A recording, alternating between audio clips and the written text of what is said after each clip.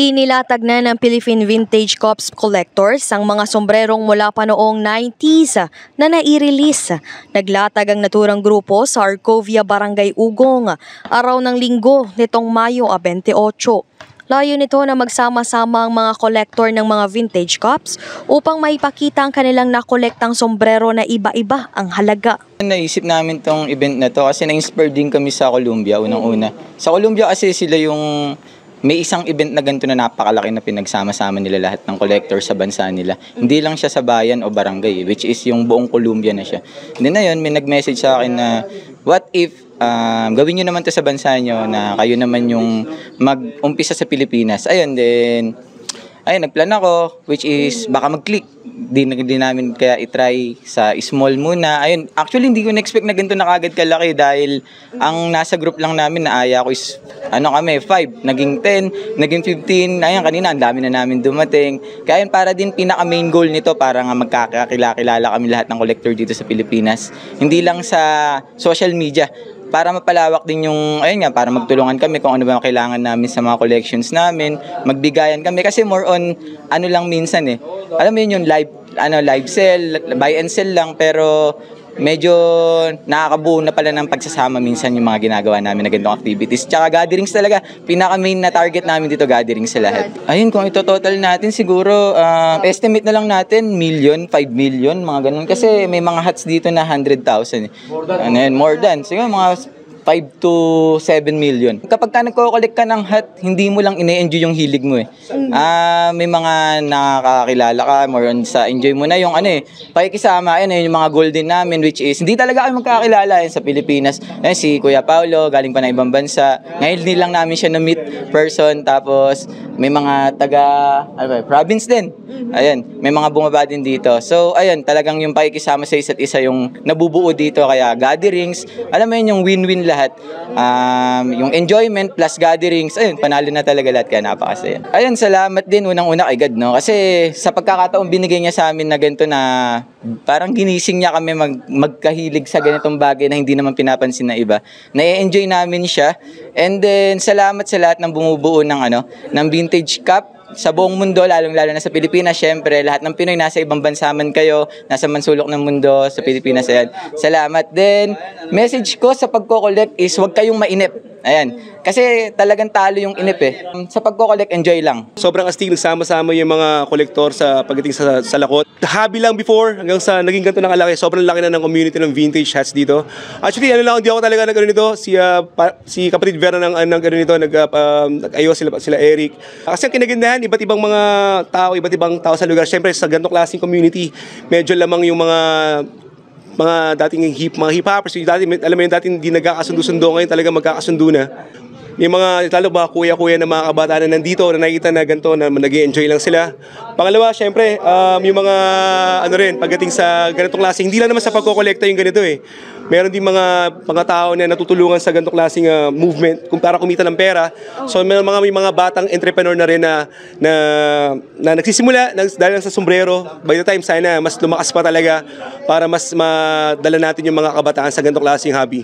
Yung mga nanggaling sa most actually iba't ibang sulok ng mundo to for sure kasi ako nagbebenta rin ako ng mga vintage shots. Um, tumorder sa sa sa Amerika, yung mga, ito, ito nakatira ako sa Amerika ngayon, sa California. So, umorder sila sa, hindi lang sa Amerika, may mga Canada, merong sa Europe, iba-iba, iba-ibang lugar eh. So, So ginawa rin to ng mga um, sa Colombia, gumawa sila ng ganitong klaseng event din. So meron din silang community ng ganito. So marami, sobrang solid. Sobrang ano, nakakatuwa kasi talagang dating magkakalaban-laban sa mga pagbebenta ng mga sombrero mga to sa sa, syempre, hindi mo mawawala yung kailangan, medyo lagyan natin ng konting angas pa rin, kailangan paangasan. Ganun naman yun eh. Para maganda yung ano eh, para maganda yung pagko-collect. Pero may ano lang yung, baga, ano lang yung, baga, part na lang ng ano yun, ng ano, pero usually bati-bati lahat yan. Yeah, so may mga hindi maiwasan, may mga, ano, may mga magkaroon ng mga ano, syempre, makatampu-tampuan sa mga ganitong klaseng grupo. Pero at least sana na magibabaw pa rin yung kapayapaan tsaka peace sa lahat ng mga nagkokolekta. Yun lang talaga ano natin, goal natin. Ayan. Ang sombrero, nagsimula mo ng sombrero talaga, ginagamit yan talaga panangga sa araw. So kalimitan ginagamit yan ng mga magsasaka dati, ng mga hanggang sa nag lang, nag-evolve na lang eh. Pero ang salakot, yan, mga militar, malaking bagay yan sa mga militar kasi yun ang mga pang-helmet nila sa, sa alam mo yun, sa sa pakipaggera o sa pag alam mo yun, sa pag ano sa pagprotekta sa sa ulo yan. Lalo sa mga nag-hustle sa street, isa to sa mga panangga sa araw para alam mo yun, Ganun, ganun ka-importante. Minsan nabababayaan natin importansya ng sombrero pero talagang malaking bagay yan sa lahat ng mga nag-hustle sa araw-araw lumalaban sa init, lahat ng lumalaban sa laban ng buhay mga kapatid. Value din, um, yun, yun ang mga marami, marami yung pwedeng kumita ng pera sa mga nagsistart. Marami na ako nakitang saksi na yung mata ko sa mga naging successful, na gumanda yung buhay sa pag, pag-flip ng mga sombrero. Same time, yun nga, sa mga nagko-collector rin yun. Marami rin mga tulad ko na dating mga medyo hindi okay yung ginagawa pero nung naging ano na ako na nakuha sombrero nagbago na yung pananaw sa buhay na sabi ko sabi ko di man ako nag-collect ng sobrang dami sabi ko gagawa ako ng sombrero ko. Parang gano'n yun. Kaya yun ang ginagawa ko ngayon gumagawa kami ng mga hats ngayon. Yan pasalamatan ko lang ano yung sila sila Bears nung nag-invite sa amin dito sobrang salamat. Kasi hindi ko talaga event so sana makapag-event din kami soon. Sana makapag-plano talaga ng ano. Ah, maraming maraming salamat sa lahat ng mga sumunod. Ah, kami sumunod lang din ako kasi may mga nag-start din. Maraming maraming salamat sa mga nauna Tingnan nyo yung ginawa nyo mga kapatid. Andito na kami. Andito lahat ng mga sumunod sa mga yapak. No, kasi maraming nauna pa dyan. Sana na makapunta rin sila. Kung hindi nagsimula dahil sa inyo, magpasalamat tayo sa mga nauna.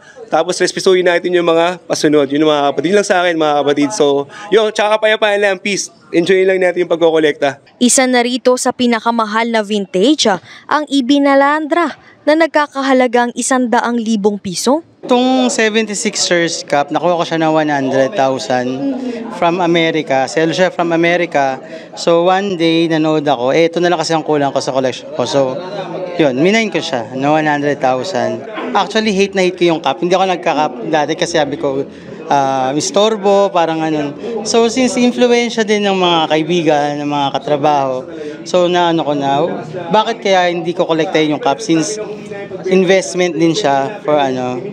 So yun, so ito kasi ito nga, parang ano kasi siya, eh, bihira actually siya. Ito yung cup na bihirang nakita sa mga seller. So once na nakita ko siya, di ginarap ko na rin para ano, ayun din. May mga factors siya. Una, sa rarity, sabihin, um, bihira siya makita. Tapos, onti lang yung lumabas na gantong ano, na cup. Tapos, siguro sa katagalan, since 1996 pa siya, so ilan taon na rin siya, almost 20 years na. So, vintage na siya. So, sa alam naman natin ng vintage, the more na tumatagal, mas nagmamahal. Actually kasi busy kami eh. Busy kami sa mga trabaho, sa mga ginagawa. Pero once na makita mo tong mga cups, mawawala talaga yung pagod mo. So, yun yung pinaka ano sa amin. Dati parang nakikiuso lang, yung, uh, one of the ano, uso lang. So, pero since patuloy yung ano, paglaki ng cup game, so parang minahal ko na rin siya. Ayan. Yun naman yung the best. Sa lahat ng mga collector, ang um, uh, may message ko lang sa inyo is, pagpatuloy nyo yung pagka-collect nyo, uh, mahalin nyo yung vintage kasi um, ano to eh, one in a lifetime experience na magkaroon ka ng mga ganito. Ah, maganda, maganda sa feeling yung may ganito ka, tapos maraming kang makikilala mga kanya, mga katulad nito sa event na to. Actually, hindi kami kakilala person ano sa ano na, sa online lang kami kakita. Pero sa ganitong event, yan, nagkakaroon kami ng banding. Sana mahalin natin ang cup game. Tapos, magsuportahan na lang tayo kasi one family lang naman tayo. Yun ang importante talaga. No? Samantala, higit 20 kolektor naman ang dumalo sa naturang activity upang mas maipakita sa buong bansa ang kanilang hilig lalo na sa pangangolekta ng mga sombrero. Ako po, si Jen Patrolya para sa latest ng iNews Pasig.